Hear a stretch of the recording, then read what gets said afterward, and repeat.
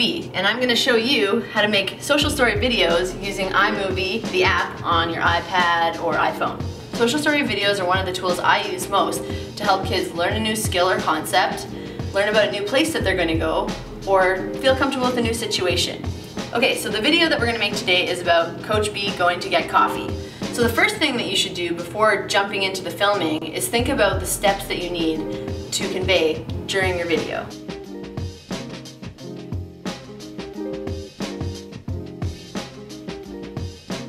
My recommendation is to do each of the items on the list as different clips in your camera. Going for coffee. Get on your coat, shoes on, get coffee mug, walk to the coffee shop, buy coffee,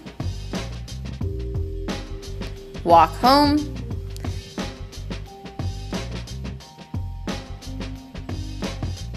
cuddle the cat.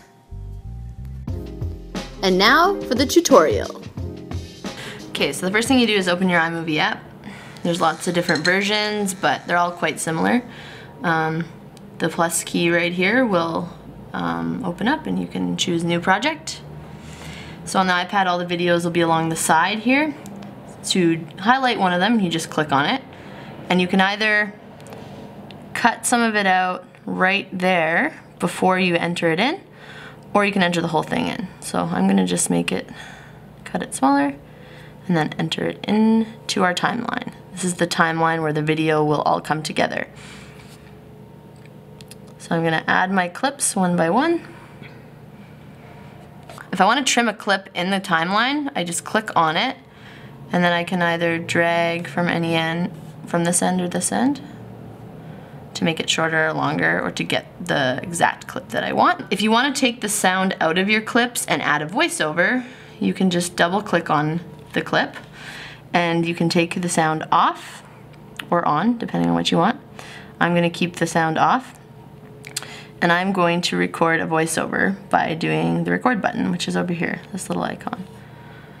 So it'll get me ready to record and when I'm ready, click record walking to the coffee shop. And accept that.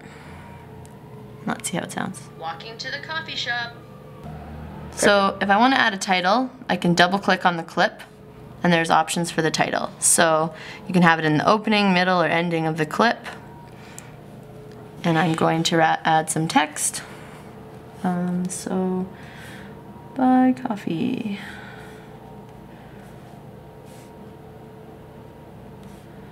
All right, done. And there it is. It's going to show up when my clip shows up. Uh, there's also a way to add music. So you click on the little music icon and there's different sound effects. You can choose music from your device, but there's also theme music. So you can listen to that and add it if you like that. To make the volume on the music louder or softer, you can just double click on it and there's a volume meter right there. So uh, at any time if you want to delete a clip, you just double click on it and there's an option to delete it. Once you're all done editing your video, you can click to the title menu and whichever video is highlighted, you have some options of what to do.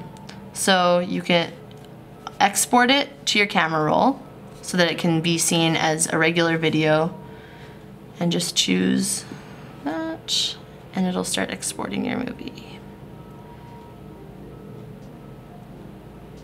Yay!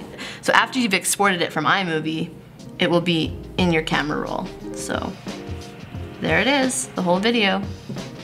Thanks so much for joining me on my coffee adventure and on learning how to make social story videos on iMovie. If you have any questions, don't hesitate to contact me. This is Coach B and Gatsby signing out.